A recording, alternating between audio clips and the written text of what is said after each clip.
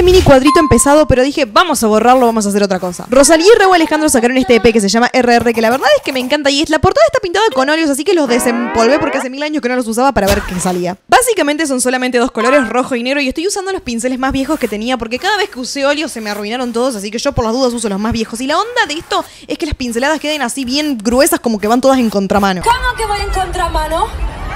¿Ya no? Che, ¿sabían que Rosalía me sigue en TikTok? Es un montón eso. Bueno, una vez que tenía todas las pinceladas negras que miren que estética, me di cuenta que el rojo estaba muy rojo, así que lo que hice fue agregarle un poquito de bordo como para que quede un poquito más color vino, así. Así quedó yo, un desastre, pero así quedó el cuadrito. ¿Qué opinamos?